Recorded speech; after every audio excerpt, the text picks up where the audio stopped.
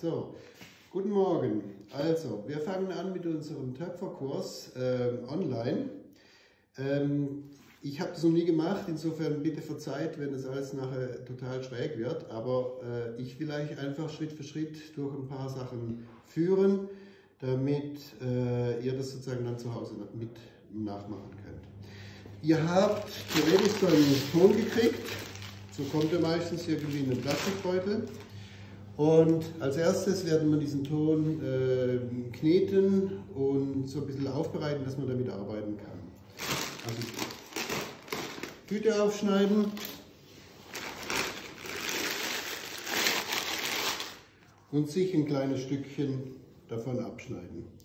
Das hier ist ein sogenannter Töpferdraht. Äh, man kann jede Art von Faden nehmen, um den Ton durchzuschneiden. Wenn der Ton ankommt aus dem, also bei euch ankommt, meistens liegt er jetzt schon ein, zwei Jahre in so einem Beutel rum. Das heißt, er ist außen ziemlich hart, innen noch weicher und das erste, was man machen muss, ist diese Masse sozusagen zu homogenisieren und äh, weich zu kriegen. Man macht zwei Sachen. Einmal klopft man das einfach auf den Tisch. Das bringt sozusagen die Sache in Bewegung. Man merkt dann sofort, der Ton wird weicher.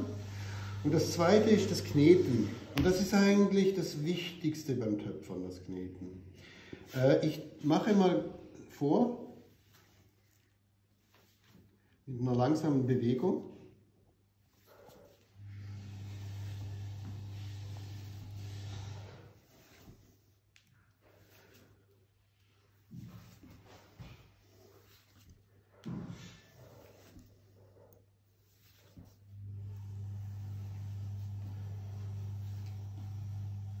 So. Man greift den Ton, man tut mit dem Handballen einen Abdruck machen, rollt ab, holt es mit der gleichen Bewegung wieder hoch, greift neu, macht wieder einen Abdruck. Und nicht zu stark. Man will sozusagen keine Hohlräume reinarbeiten, sondern Luft rausarbeiten.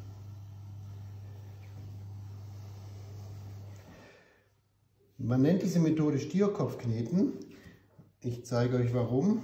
Oft macht man es so ein bisschen so und dann entsteht ganz schnell so eine Art von Stierkopfform. Wenn man es richtig macht, packt man diesen Stier immer an den Hörnern und drückt mit dem Handballen so ein bisschen die Augenhöhlen rein.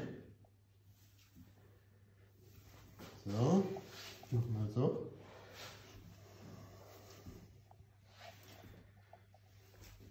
Und dann sieht es eher aus wie so eine Art von Donald Duck.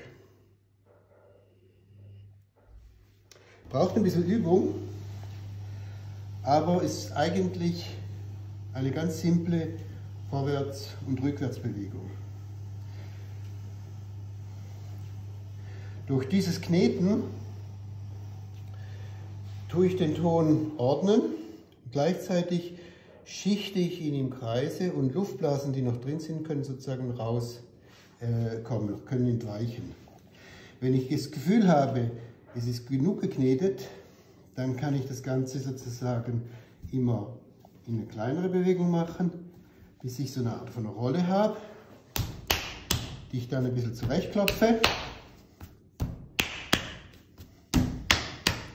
Und das ist jetzt mein Ausgangs meine Ausgangslage. Wichtig, es geht darum, Luft rauszukneten. Deswegen darf ich jetzt keine Löcher reinmachen. Ich darf nicht mit meinen Fingern irgendwelche Hohlräume schaffen. Und ich darf auch den Ton nie zusammenfalten. Sonst muss ich wieder von vorne anfangen. Wenn man knetet und man merkt, irgendwann wird zu lang, dann kann man das Ganze einfach senkrecht machen und nochmal von vorne anfangen.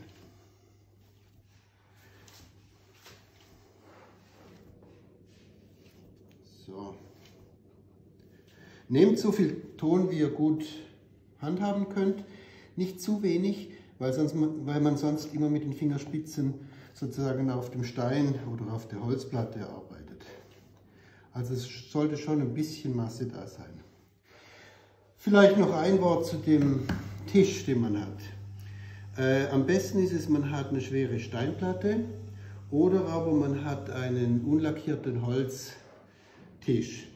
Je schwerer und unbeweglicher das Teil ist, desto besser, weil man sonst ständig den Tisch durch die Gegend äh, schiebt beim Kneten. Das hier sind so richtige Gehwegplatten auf einem Holztisch. Das ist so stabil, dass ich hier wirklich jede Menge Ton kleben kann, ohne dass es sich, ohne dass es sich großartig verschiebt. Man muss, äh, wenn ihr jetzt zu Hause arbeitet, vermutlich irgendwelche Kompromisse schließen. Sucht was, was stabil ist, was möglichst nicht lackiert ist, sonst klebt euch der Ton nur auf dem Tisch fest. Aber gleichzeitig darf es halt auch nicht beweglich sein. Also eine Holzplatte auf dem Tisch selber wird nicht viel nützen, weil die euch ständig wegrutschen wird. So, Kneten. Das wäre das Kneten. Ich mache noch folgendes am Schluss. Wenn ich so ein, nennen wir es mal Brot habe, dann kann ich sozusagen von diesem Brot mit einer einfachen Bewegung gleichmäßige Kugeln wegmachen, die ich jetzt in der Hand zu schönen Kugeln forme. So, äh, bitte die Kugel in der Hand formen, nicht auf dem Tisch, sondern in der Hand wie ein Schneeball. Je schöner die Kugel ist, desto gleichmäßiger wird nachher auch eure, werden nachher auch eure Gefäße.